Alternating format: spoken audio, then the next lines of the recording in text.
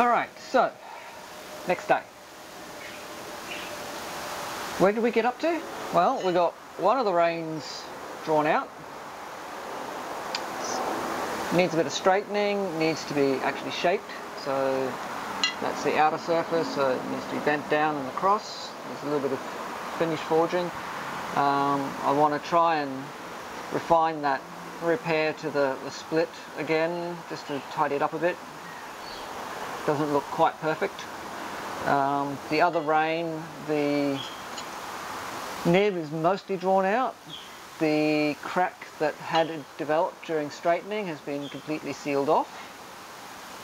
Um, so I need to draw out the reins. Uh, this is roughly how that crack started out, so you can see it's quite a massive thing. Um, this is why you don't leave sharp corners um, in forgings. Um, get rid of sharp corners on things that you are forging, such as files, rasps and so on, because sooner or later that's going to happen. Um, now this is wrought iron, so it's a much more controlled, more of a, a tearing sensation thing.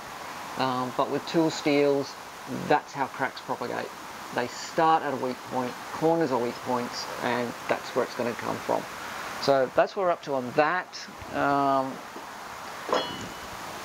The hammer blank is cut, ready to go. Um, the tool steel facings are ready to go, so what I might do is whilst I'm working on these, I will get this up to temperature, forge weld on the face plate, begin forging out the rough shape. Um, so I've got most, so I can figure out where I want to punch the eye because the eye is a little bit out of the balance of the, of the piece. So what I might do is punch it for center on the existing piece and then when you weld on the faceplate that will skew things. No actually I'll skew things the wrong way. So I'll have to punch after I put the faceplate on so I can figure things out. Um, so the eye actually ends up a bit further forwards um, so that the peen ends up longer anyway, that's something to figure out as we go. So that's ready to go, um, and that will take us through the first of the two tools that I want to make. Um, for those of you following along, you'll have noticed that um, Black Bear Forge um, linked into my first video on this project. Um, so a big shout out to John. Um, thank you for that. he's made the anvils, so I'll endeavour to make those at some point in the near future. They'll be made out of wrought iron as well. I may end up having to um, weld together some axle segments or something um, just to get enough mass. Um, and then I might touch base with John and see about doing a comparison um, on usage between the wrought iron anvil versus his uh, 4140 versions. I'm assuming the 4140s are going to be performing like a modern surf striking surface, whereas the wrought iron ones are probably going to have a different draw, like the feel of the metal moving on them is going to be different. Um, but that's something to look into in the future. Um, I will link into his video for that. It will be somewhere over there um, at some point. Um, so yep, let's finish off the all-important nectar of productivity. Um, get the forge lit. Oh, I should probably show you the rebuilt forge. So just let me get some of this stuff in and we'll move the camera over and have a look at the rebuilt forge and some of the detritus from the rebuild, which I'm trying to decide what to actually do with. Um, seeing as I'm planning on building another forge um, in the very near future and the refractory would actually make reasonable aggregate to lay in the bottom of the um, the build and then put some um, high temperature refractory over the top of. Um, so that's for the future. Um, although not the distant future, the refractory should be here early to mid next week. Um, so a few days and then it'll be getting our build on again. Um, Alright, let me move the camera and we'll show you how the new forge looks. I'm using some sacrificial um, linings in that and I'll show you that. It's a bit of a risk, um, but I work in a very, very well ventilated environment, um, so I don't see it as a major risk. Um, and whilst you don't see me working all that much, um, yeah, we'll cover that when I get there. So the sacrificial material I'm using is um, some high temperature fracks, which the heat from the forge really does melt down very quickly, um, so it doesn't last long. Um, I've lined the floor, which is actually the original floor, just the brick turned over, um, with some more fracks just to give that a bit of extra life. Um, and when those get too saturated with slag and flux, then um, I can just quickly whip this out, um, whack in a new lining, and um, keep going. Um, so this is what happened yesterday. The burner tip finally started flaring quite recently. Um, and it's just gradually put stress on the bricks and it's basically spalled out the roof, which is where most of the, the melted slag has come from, is actually the melted roof of the forge. Um, I'm using these little extensions just to give a little more um, depth to the, the forge itself, just to make it a little more efficient, um, give me a little more working depth. Don't know how that's actually going to work. I've not really tried that. I've put a couple of bricks on the sides just to limit the amount of wind disturbance and so I can close up the opening a bit if I really want to get to welding heat quickly. Um, we'll see how this works because I'm not going to be able to scoot them in as easily. Um, so that's an experiment. We'll see how that works. Um, I have to move some of this junk. Um, I'll leave this stuff here because it's not going to matter that much. Um, so yeah, let's get things hot and um, we'll get underway. That extra piece of steel that's in the uh, forge at the moment is going to be cut so I can get this piece off, going to yield material for the rivet for the uh, tongs.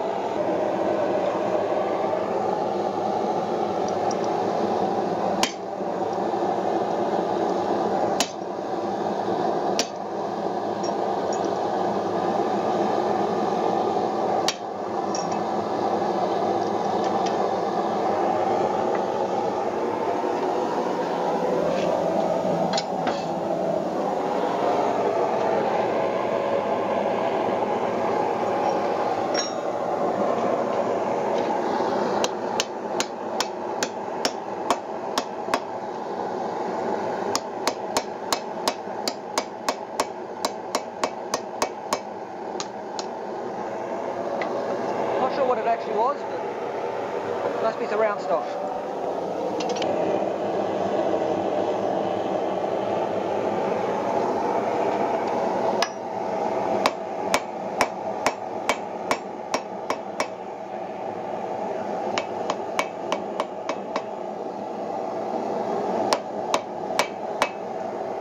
All right.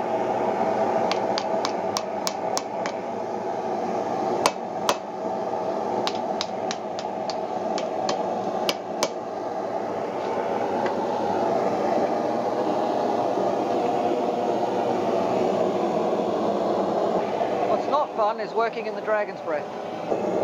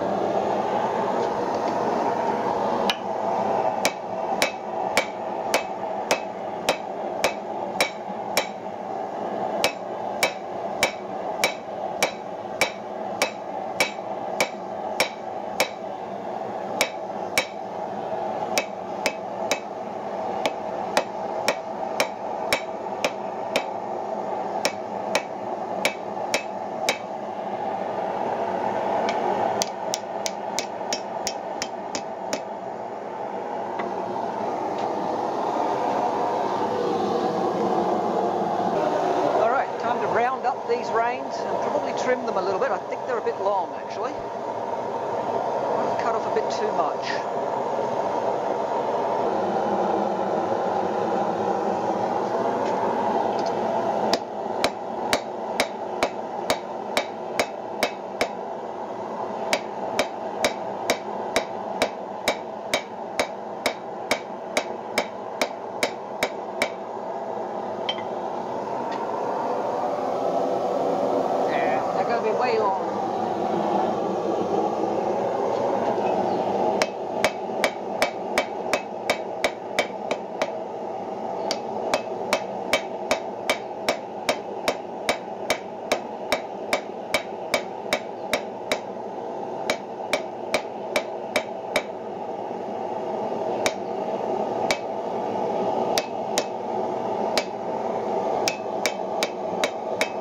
bit too careful, I'm going to end up with the reins being too thick, so I've got to draw them out a little bit longer. I'd end up using what I trim off to make the rivet, which would be kind of poetic. The not so fun part.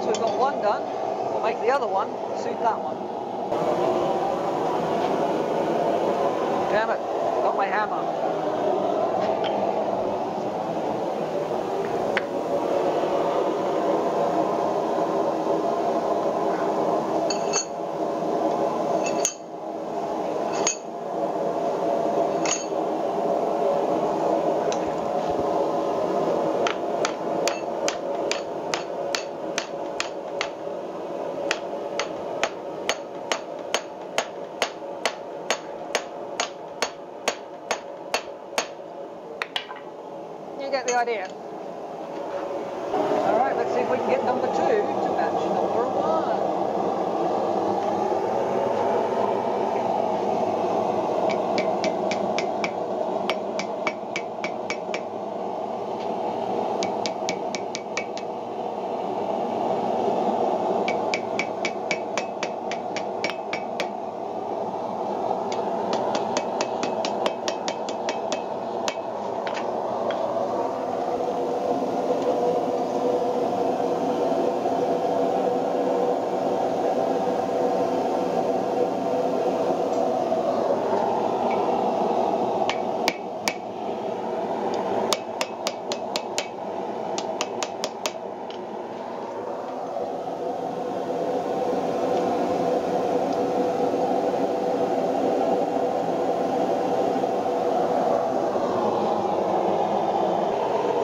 got an idea of what you're doing, it's actually relatively easy. It's a bit easier than it looks. Uh,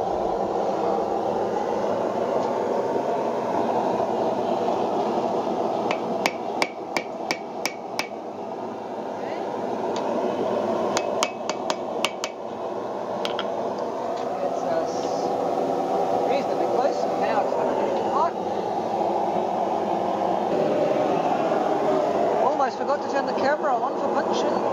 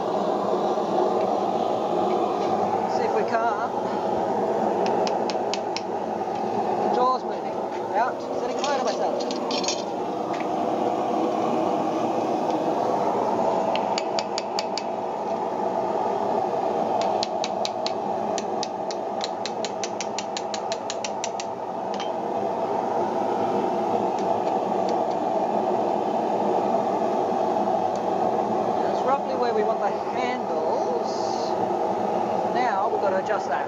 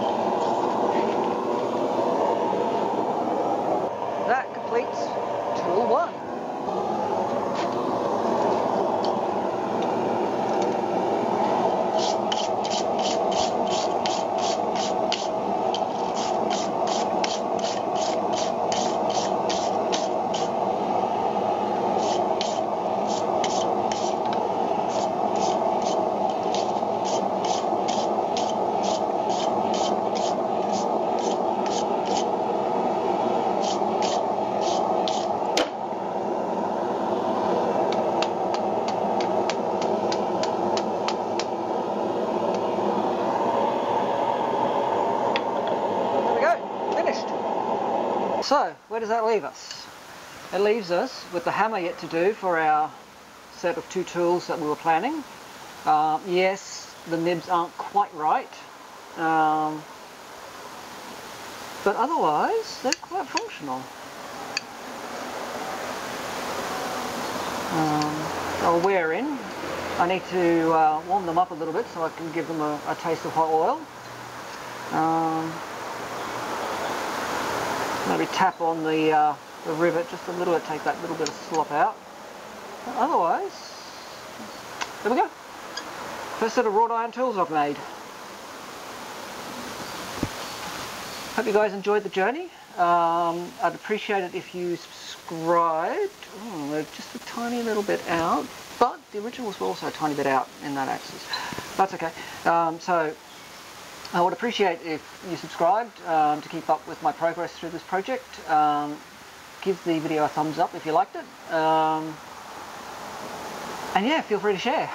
Um, I will be putting a link um, to um, John Switzer's Black Bear Forge channel and his anvils from this collection. That'll be down here, I think. And do get out to your workshop, do have some fun, but do stay safe. Catch you next time.